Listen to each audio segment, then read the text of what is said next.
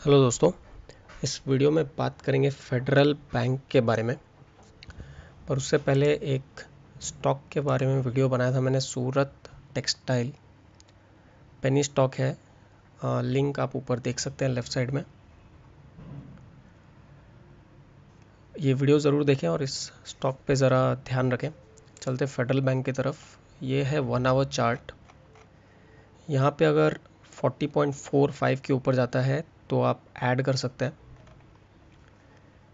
क्योंकि एक अच्छा खासा डबल बॉटम बनता हुआ यहाँ पे नज़र आ रहा है। यहाँ पे आप देख सकते हैं, इस लेवल से दो बार ये स्टॉक रिवर्स हुआ है। सो ये जो लेवल है 37.45 का 37 के स्टॉप लॉस के साथ आप बाई कर सकते हैं फेडरल बैंक काफ़ी बढ़िया स्टॉक है।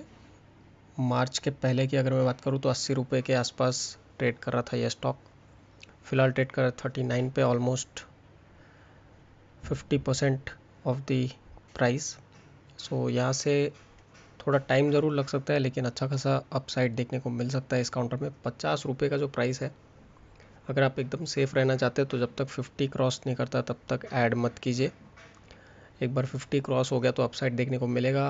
सुपर ट्रेंड नेगेटिव हुआ था 83 पे, वो अभी तक पॉजिटिव हुआ नहीं है डेली चार्ट में।